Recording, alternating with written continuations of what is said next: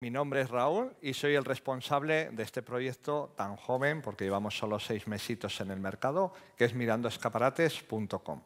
Nuestro objetivo es simplemente que las empresas tengan un sitio donde exponer su producto, sus servicios, para que los usuarios lo podamos conocer. Pero antes de hablar de mirandoescaparates.com, lo que vamos a hacer es dar un paseo de lo que tiene que hacer un emprendedor a lo largo de todo este proceso, a lo largo de este eh, formato o a, lo largo de sacar un producto o una empresa adelante. En este caso, la comunicación va a ser importante y en este primer eh, tramo del camino que vamos a recorrer, la idea, el montaje y la inauguración van a ser nuestros tres primeros pasitos. En estos pasos que nos surgen las dudas, los miedos, pero también la ilusión de sacar un proyecto adelante, de saber que podemos conseguirlo. Dentro de estos primeros pasos, la idea va a ser fundamental.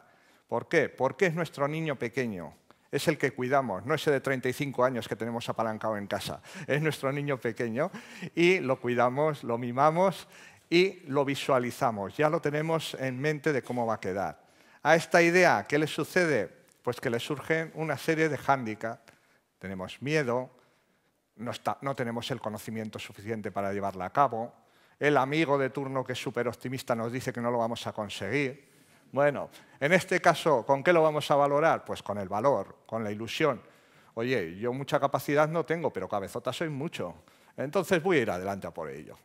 Vamos al segundo paso. El segundo paso va a ser el montaje de esta idea, el montaje de este proyecto. Ahora nos convertimos en saltadores de obstáculos, de vallas, como antes en el deporte electrónico, en este caso de vallas.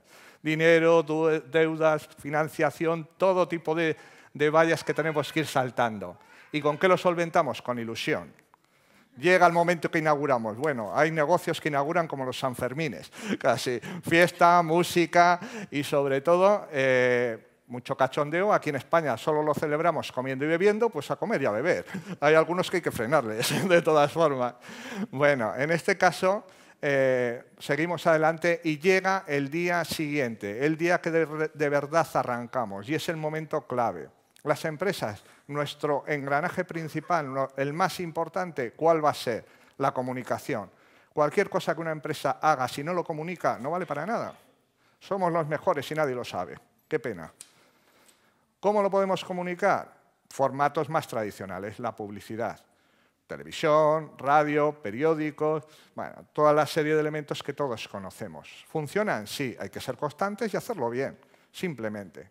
Hay otro formato que con las nuevas tecnologías se está desarrollando más. Es la comunicación. El que los negocios puedan poner en un sitio lo que hacen y lo que tienen. ¿Para qué? Para que yo cuando lo necesite vaya a buscarlo. En ese caso, eh, no lo denominamos publicidad, pero pueden ser formatos tan tradicionales como un escaparate, un departamento de atención al público, las redes sociales, un mismo teléfono. Y ahí es donde nace mirandoescaparates.com, como respuesta a ese problema de las empresas para sacar, para enseñar, para mostrar lo que ellos están haciendo. Mirandoescaparates.com lo que hemos determinado, hemos hecho es una plataforma donde las empresas podéis mostrar qué hacéis, que hay muchísimas empresas, estamos viendo hoy, que tienen cosas que enseñar. En este caso, ¿qué hemos hecho? Hemos presentado, hemos montado una plataforma.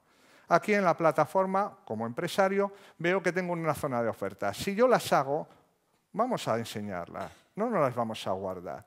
Y luego vamos a tener unas categorías donde yo me voy a apuntar y voy a decidir dónde quiero que me encuentre.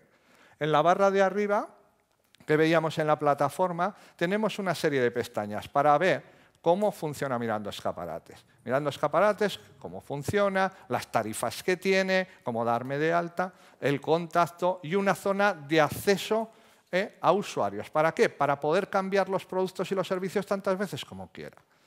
Vamos a darles características, muy fácil. Quitamos lo que no me gusta y lo que me gusta lo pongo, como lo he montado yo. Vale. Contratos, obligaciones, intermediarios, eso no me gusta. Y la permanencia, fatal. ¿Qué me gusta? Que sea económico, que todo el mundo pueda estar. Para ello, como usuario, ¿qué me encuentro como usuario? Una plataforma muy sencilla, muy fácil. Desde cualquier dispositivo con Internet puedo acceder a ella. Voy a encontrarme categorías, voy a encontrarte ofertas, las últimas novedades. Pulsamos una categoría, a ver qué vemos.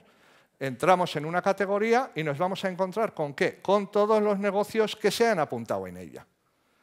Pero no vamos a ver simplemente un listado de negocios, que eso ya está muy obsoleto. Vamos a ver el mejor producto de ese negocio. Y ahí es donde lo vamos a poder plasmar.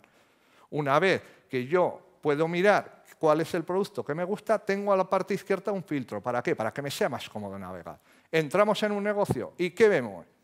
Pues el resto de los productos que nos quieran enseñar, lo que ese negocio nos quiera decir. Luego una zona donde yo lo voy a localizar, la dirección, el teléfono, los enlaces a su web, toda esa serie de elementos que hoy en día nos dan información y sobre todo la localización, por si me gusta ir a comprarlo. ¿eh? Eso es muy importante para un negocio, aunque parezca que no. ¿Qué es muy importante para los negocios? El boca a boca. Hoy en día, ¿qué es el boca a boca? Las redes sociales. Mirando escaparates, ¿qué hemos hecho? Tenemos dos redes sociales, que es Facebook y Twitter compartimos todas las noticias de nuestros negocios, que es Mirando Escaparate, un foro de noticias, como antiguamente los romanos, tan sencillo como eso. Pero nosotros cuando montamos mirandoescaparates.com queríamos ayudar a la gente. ¿Y qué hemos hecho? Hemos dotado un espacio gratuito para organizaciones que ayudan a la gente. En estos momentos está con nosotros Banco Alimento. Nos gustaría que estuvieran muchísimas más. Es gente que se esfuerza en ayudar a otros y así aportamos nuestro granito de arena. Y para ello, bueno, me despido. Os presento a Frin y a Frank, que son nuestras mascotas en las redes sociales. Hola. y con ello, pues agradecer la atención que me habéis prestado. Quiero daros pues, eh, una noticia que desde hace una semana este proyecto que empezó en La Rioja en estos seis meses, ya nos podemos apuntar en cualquier parte de España. Y esperemos que muchos negocios, tanto en La Rioja como en España, se vayan sumando. Muchas gracias por su atención.